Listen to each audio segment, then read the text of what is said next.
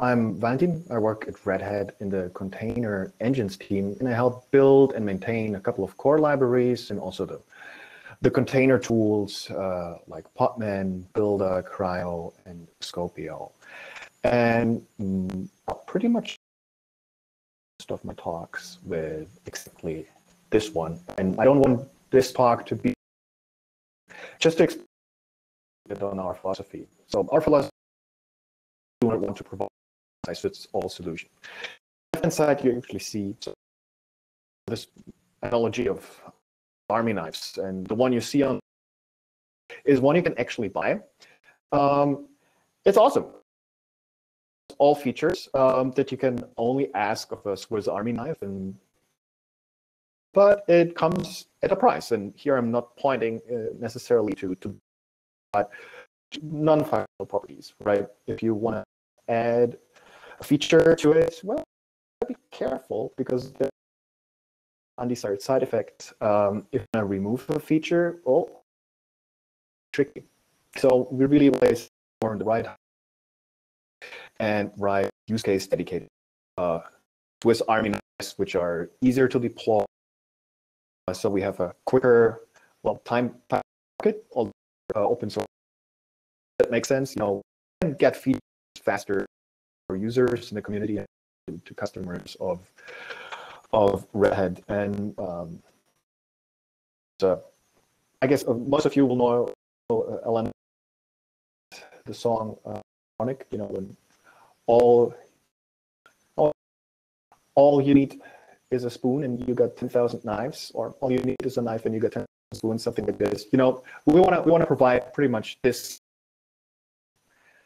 Um, so our Swiss Army knives tackle the entire life of a container, which starts with building a container, right? There we have Buildah, um, which is our specific knife, Swiss Army knife specialized in container building.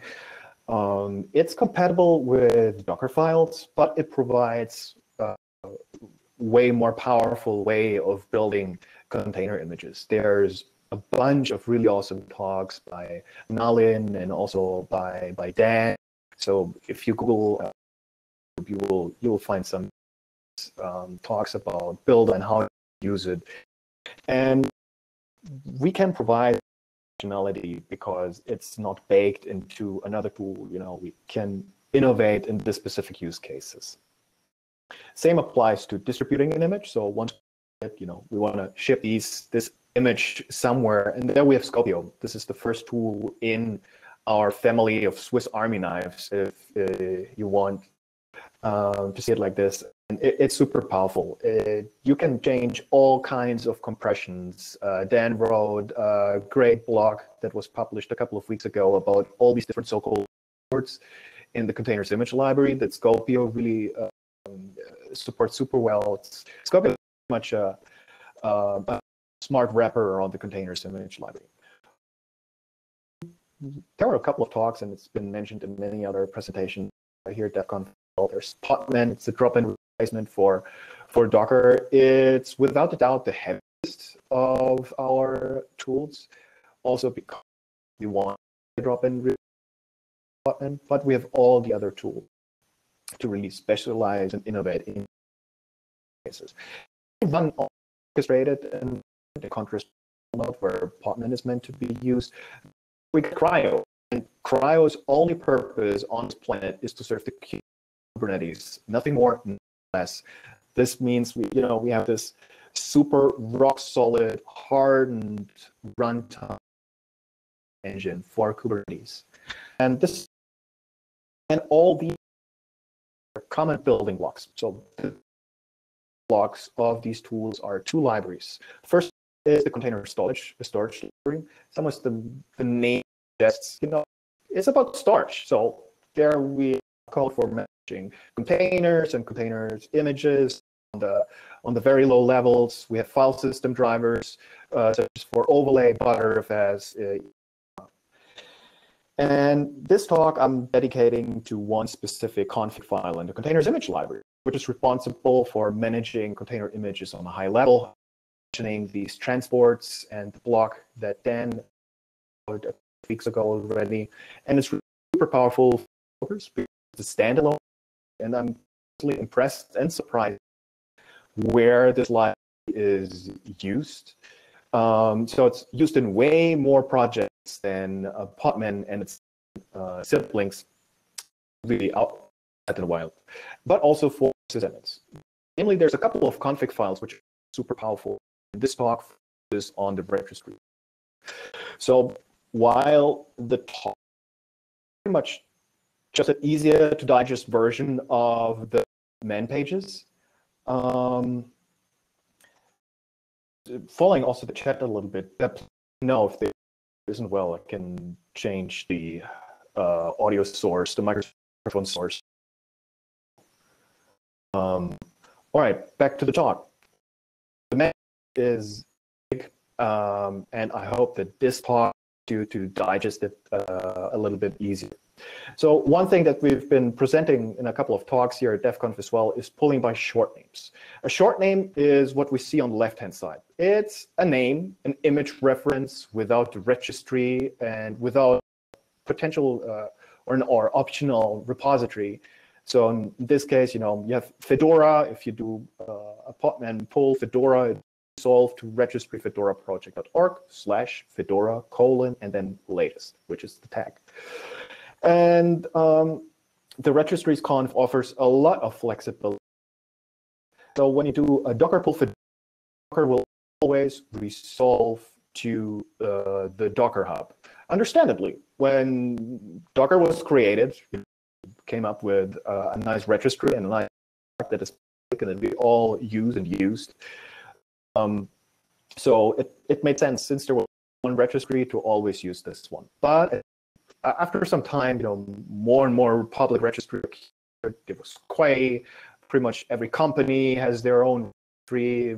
Red Hat, Microsoft, Google, Amazon, you name it, and also all pretty much all uh, all Linux distributions. OpenSUSE, Debian, they all have their their registries. So Podman and its sibling projects really didn't want to lock in users into only resolving to one registry. Um, use cases, maybe where a company wants to do a Podman pull um, of an image and want to to their on-premise registry. So by using the registries conf, you can resolve pretty much any kind of registry. Just as we mentioned before, we really the Fedora project, you know, they, they host their main um, Fedora images on registry fedoraproject.org. Um, they're also pushed to Docker Hub uh, to, to remain compatible. So you can configure this in the registries.conf file in the so-called unqualified search registries. This is pretty much a list of strings. And when you do a Podman pull historically, Podman was going through the list in the specified order one by one it contacted the first registry, tried to pull from it. If it doesn't, if the image couldn't be found, we'll go to the next registry, to the third one, the fourth one, and so on and so forth. So, but there was last year we've been notified that there is a security uh, risk by by doing this. Um, so the Red Hat security team reached out to us and pretty much showed us that if an attacker would take over or take ownership over a repository on one of these registries, um, they might be able to force users into unintentionally pulling an image then can be used as an as an attack.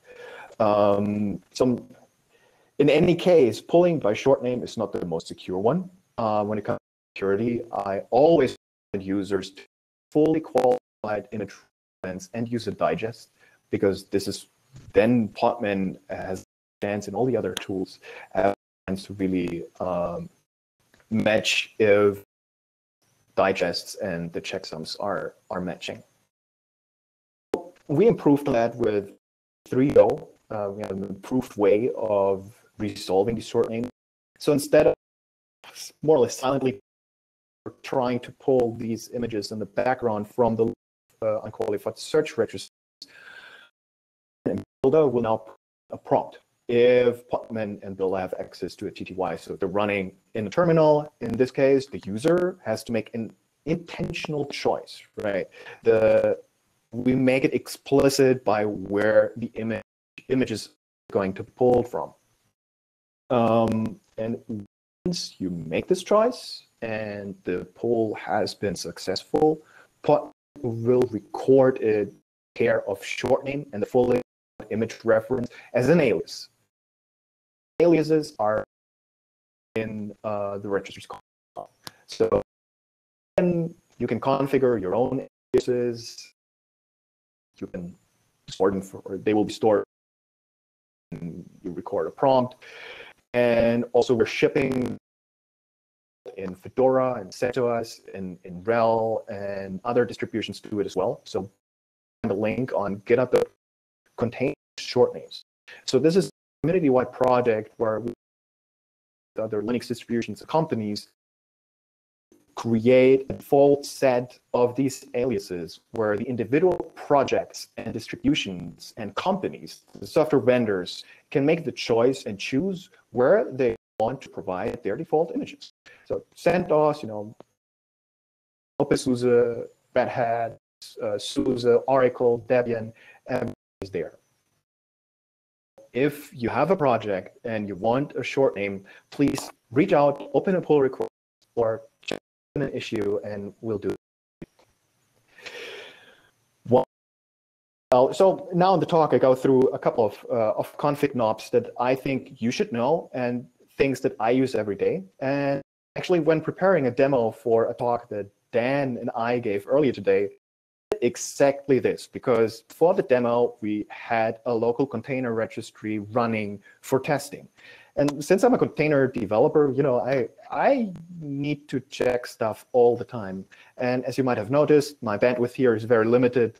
So I appreciate having a cache of images uh, by means of a local registry. However, I I'm lazy, right? Uh, humans by nature are lazy. I'm no exception to that. So I don't want to, you know, make the registry secure, you know, create the certificates. Um, so that TLS verification works. So by default, TLS verification happens all the time for each connection to a registry. So we have to opt out uh, out from that. And this is a very, very nice way to just opt out from that without redundantly writing it on the on the command line. You just uh, configure the registry, mark it as insecure, and you're done. So for the, the syntax junkies, they may have already noticed that registry of conf here is in the TOML format. And in the double brackets, they um, indicate that this is a table. So you can have a table of multiple registry objects and so you can define pretty much any registry you want. By location, this is pretty much the address of the registry. And then there's a couple of more attributes that we will go through step by step. So if you want to block a registry, there's another field for it, which is called blocked. However, um, you can also, or to meet more use cases, maybe you just want to block just a specific namespace, or also called or referred to as a repository, or maybe even a specific image. Comes a new field into play, which is the prefix. When detecting a registry, the image library goes or looks up the registry's conf and tries to find if there is a registry configured that matches the registry that we're about to contact. And if there's no prefix specified, the location will be as a prefix. But you can override this as shown here. Is this specific registry object will only be contacted if you pull from registry.example.org slash repository, the image below, but it will not be selected if you pull or contact another repository on it. So this gives a lot of flexibility to what you want to do. In this case, a namespace or repository, or as shown here, if you want to block specific image, you can do this. Here comes, I think mirroring registries is one of the oldest feature requests in um, the in, in the containers domain. So uh, a mirror, well, like any any other mirror, it's a server that will be contacted prior to the main source. So you can do this in registries well. As shown here as an example, you can specify multiple mirrors. You can set them as insecure. And Podman and its sibling projects will go through the list of mirrors in the specified order and only ref only use the main source, the main registry location as the last resort. Full wins. Um, so this offers a lot of flexibility and is super powerful, especially in air-gapped environments, which is used a lot. About uh, the remapping of references. So um, this is similar to UMR, but more powerful. So is prefix to docker.io and the location is mir.gcr.io.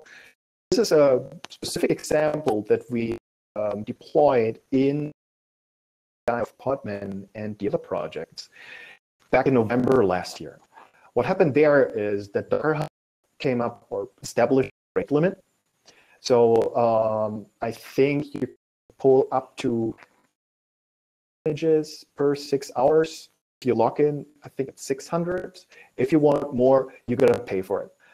Um, this is absolutely legit understandable why Docker Hub is doing it, but it also caused a lot of issues, not only for, for, the entire world, because Docker used extensively, especially in CI systems. And so many CI systems went south, they went red. People were somehow faced with a choice. Either you it to another registry, maybe Quay.io or use a mirror, um, or pay. And well, in any case, it you gotta make a choice.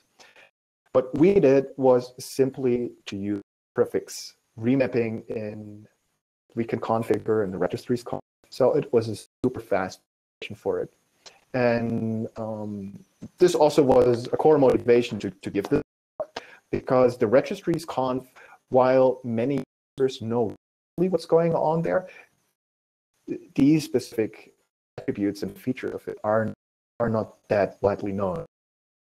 So what happens is any reference from docker.io will be required to .gcr.io, not hitting or you're not subject to rate and, we didn't have to to you know substitute image references in our CI. This worked by two things that I want to highlight. Tom Sweeney and our team they actually did they you know they um they also wrote a, a really blog post on it that is referenced uh, below. And I do not want to leave unmentioned here is sync. Skopeo sync is a cool way to mass migrate images from one to another, or if sysadmin and environment uh, where can't access the outside network, the internet, Skopeo sync, copy all the images you want from the outside world. You go into your data center, plug it in, and use sync also to uh, other internal registry. So there, if you click on the link, this is a, a link on the upstream to the upstream. It's, it's you can uh, as a simple CSS face, also YAML uh, it can eat YAML files if you want to relate it, if you have, you know, depending on the workflow that, that suits your needs. Try fantastic. And especially for such things where from one registry to another, this is really excellent.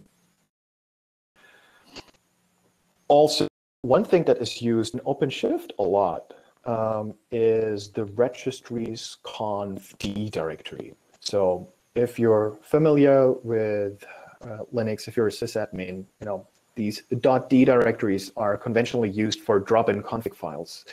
And we support that as well for the registries conf, both for root, for you know system-wide um, configuration files, but you can also use it uh, for your rootless user. So if you're on a big grid or you know uh, in a environment you want to um, come up with your own configs, no problem. Just place them in your home directory in .config containers, and you're done. So what happens here is that every .conf suffixed file in the directory will be loaded in alpha numerical order. And on here, you have 000 dot dash short names conf. This is where we store and ship the default list of aliases. So if you want to override an alias, just drop another config file. This is awesome if you're using Ansible or Salt or other config management systems, or or you can you can go old school and just SCP if, if, if that's what you want to do. So they will be, this is a very, very powerful way to add new registry settings, to override aliases, to um, override the unqualified search registries list. So it gives you a lot of flexibility. The details are written down in the man page. So this is meant as uh, a pointer to it. And I find it incredibly powerful. So the takeaway messages from from this um, talk is the registry conf, in my opinion, the holy grail of managing container registries. It's feature. We've been talking about flexible short name. You know, we can mark registries as insecure. Um, we can block registries, repositories, images. We have a smart way of remapping references, mm-hmm. and also the, the huge flexibility of using mirrors without locking in the users.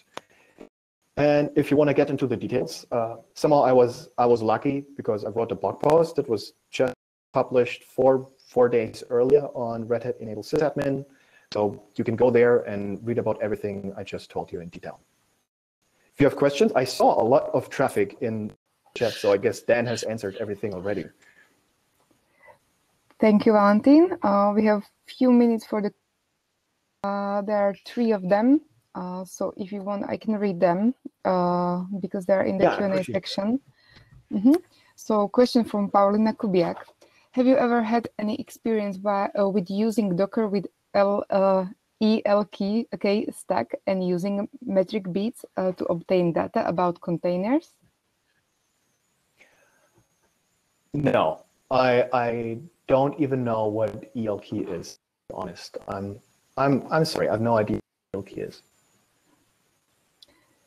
Thank you. So maybe Paulina can write in, so in the chat in meanwhile. search uh, uh, Kibana Fluentd. Elasticsearch oh. stack for monitor. Yeah. All right. No, I, I do not have any experience with that. Okay. Thanks. Thanks, Moaz, for helping. Uh, other Thank question. You. As you said, the prompt for the long name is only shown when using TTY. What happens if Podman is used in a non-interactive context this is an excellent question. Uh, thanks for asking. So um, there's there's a couple of modes that we have. For now, when you upgrade to Podman in Fedora 33, nothing will change. So if, if you're in a non-interactive mode, if you do automated builds, if you run Podman systemd in your automated environment, um, Podman will fall back to the previous mode where it will go through the list of unqualified search registries first successful pull will win. For Fedora 34, we're planning to enable the enforcing mode, where in case Podman will just use to pull.